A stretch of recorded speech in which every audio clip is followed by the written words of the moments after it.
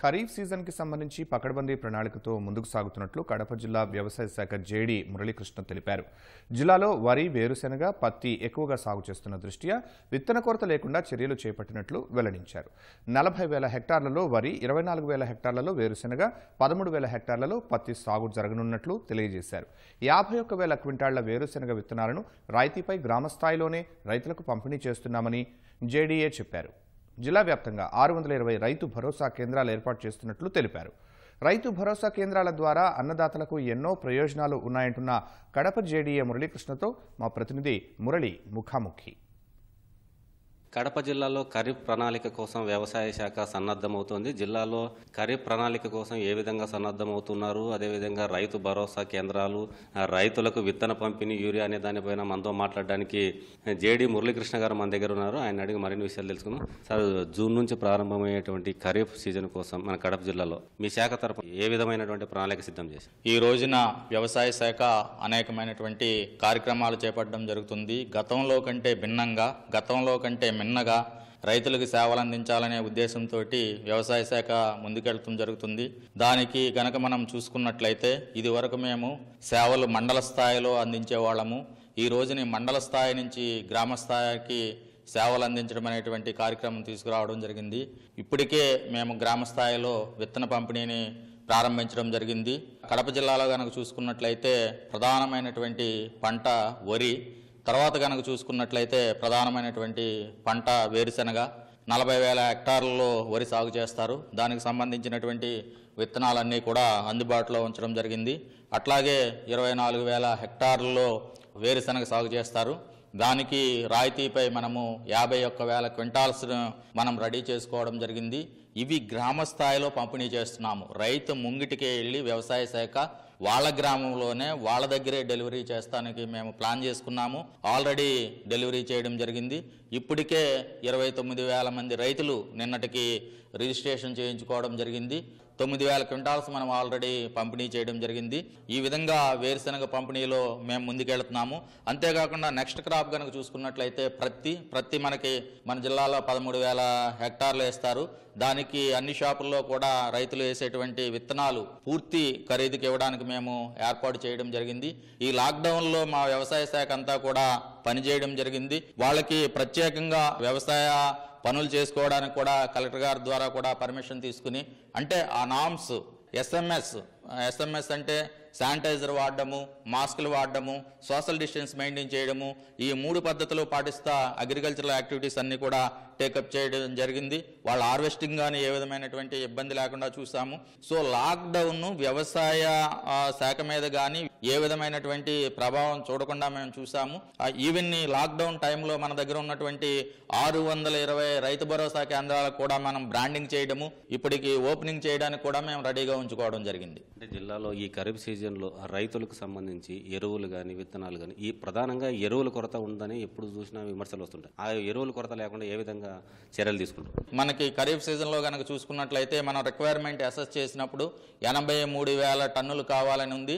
ఖచ్చితంగా మనకి ఏ విధమైనటువంటి కొరత రాకుండా చూస్తాం. గతంలో కూడా ఇక్కడ కొరత వచ్చినటువంటి సందర్భాలు లేవు. ఎనభై మూడు వేల టన్నులకి ఆల్రెడీ ఇరవై ఏడు వేల టన్నులు మన దగ్గర పొజిషన్ అయి ఉంది. అలాగే మార్క్ ఫెడ్లో మనం బఫర్ స్టాక్ మెయింటైన్ చేయాలి. ఆల్రెడీ అక్కడ ఐదు వేల టన్నుల యూరియా బఫర్ మనము మెయింటైన్ చేయడం జరిగింది. జనరల్గా ఏంటంటే కాంప్లెక్స్లు కానీ డిఏపి కానీ పొటాష్ కానీ ఎప్పుడూ కూడా ఈ షార్టేజ్ వచ్చేటువంటి పరిస్థితి ఉండదు. ఒక యూరియా మాత్రమే షార్టేజ్ వచ్చేటువంటి పరిస్థితి ఉంటుంది. దానికి మేము వెల్ ప్లాన్ చేసుకున్నాము. ఏ విధంగాను ఎక్కడా కూడా సమస్య లేకుండా చూసుకుంటున్నాం. మోర్ ఓవర్ ఏంటంటే ఇప్పుడు రైతు భరోసా కేంద్రాలు కూడా వచ్చినాయి. ఈ సందర్భంగా రైతులకు నేను తెలియజేసేది ఏంటంటే మీరు బల్క్ ఆర్డర్ కనుక ఇచ్చినట్లయితే ఒకేసారి మీకు కావాల్సినటువంటివి అన్ని కలుపుకుని యూరియా కానివ్వండి కాంప్లెక్స్ కానివ్వండి ఒక ఇరవై టన్నులు కనుక మీరు విఏఐని సంబంధ సంప్రదించి బల్క్ ఆర్డర్ కనుక ఇచ్చినట్లయితే మీకు నాణ్యమైనటువంటివి ఎంఆర్పి ప్రైస్కే మీ దగ్గరికి రావడం జరుగుతుంది. సో ఈ రైతు భరోసా కేంద్రాలని రైతు సోదరులందరూ కూడా ఉపయోగించుకోవాల్సిందిగా ఈ సందర్భంగా తెలియజేస్తున్నాం. ఇటీవలే రైతు భరోసా కింద రెండో విడత కింద కూడా రైతులకు నగదు కూడా పంపిణీ చేశారు. అంటే జిల్లాలో ఎంతవరకు ఎంతమంది రైతులకు పంపిణీ చేశారు ఇంకా ఏమైనా మిగిలిపోయిన రైతులకు ఎప్పుడు పంపిణీ చేసేటువంటి అవకాశం ఉంది? అదేవిధంగా ఈ నెల ముప్పై నుంచి కూడా రైతు భరోసా కేంద్రాలు కూడా ప్రారంభించబోతున్నారు అది ఎట్లా ఉండబోదు ఈ రైతు భరోసా అనేటువంటిది పెట్టుబడి సాయం అండి. ఇది సంవత్సరానికి ఒక రైతు కుటుంబానికి పదమూడు వేల ఐదు వందలు ఇవ్వడం జరుగుతుంది. అందులో ఏంటంటే ఈ మే నెలలో ఏడు వేల ఐదు వందలు అక్టోబర్ నెలలో నాలుగు వేలు జనవరి సంక్రాంతికి ఒక రెండు వేలు ఇవ్వడం జరుగుతుంది. ఈ మే నెలలో ఏడు వేల ఐదు వందలు అంటే ఏప్రిల్లో పిఎం కిసాన్ కింద రెండు వేలు ఆల్రెడీ వాళ్ళకి జమ అయింది.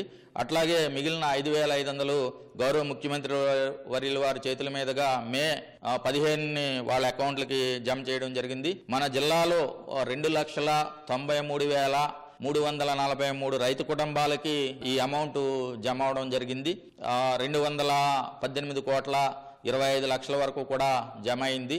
సో ఇంకా కొంతమంది ఇందులో ముఖ్యంగా ఏంటంటే రాంగ్ ఆధార్ సీడింగు డెత్ కేసులు అన్సర్వేడ్ అనేటువంటివి మిగిలిన్నాయి.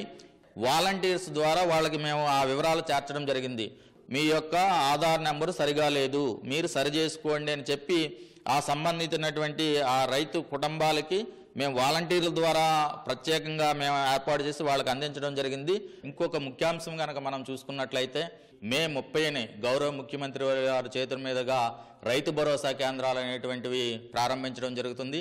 మన జిల్లాలో ఆరు వందల ఇరవై రైతు భరోసా కేంద్రాలు ముప్పైవ తారీఖుని ప్రారంభించడానికి పూర్తి స్థాయిలో ఏర్పాటు చేయడం జరిగింది. ఫర్నిచర్ కానివ్వండి అన్నీ కూడా మేము సిద్ధం చేసుకోవడం జరిగింది. దానికి బ్రాండింగ్ కూడా చేయడం జరిగింది. ఈ బ్రాండింగ్ అనేటువంటిది చాలా ముఖ్యాంశము. దాంట్లో నాలుగు రకాలు మేము వేయడం జరిగింది.